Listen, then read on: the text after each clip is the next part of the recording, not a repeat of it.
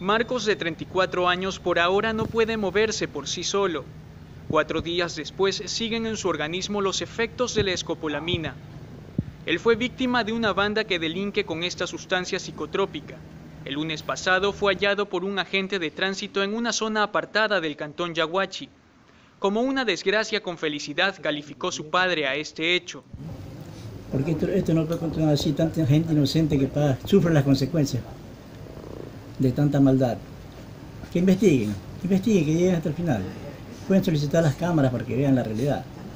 Marcos contó a la policía que el lunes pasado acudió con un amigo a una zona de tolerancia en Brasil y Salinas y que luego tomaron un taxi informal de color gris para dirigirse al centro.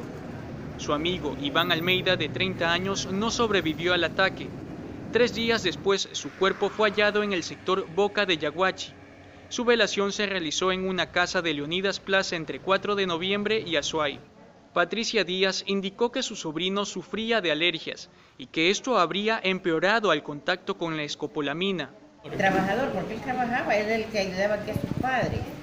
Entonces imagínense quitar a, una, un joven que tenía aspiraciones. En las últimas semanas han aparecido varias personas en zonas desoladas de la urbe porteña. Solo en el circuito centenario se atendieron siete casos en lo que va del año. Jonathan Palma, El Universo.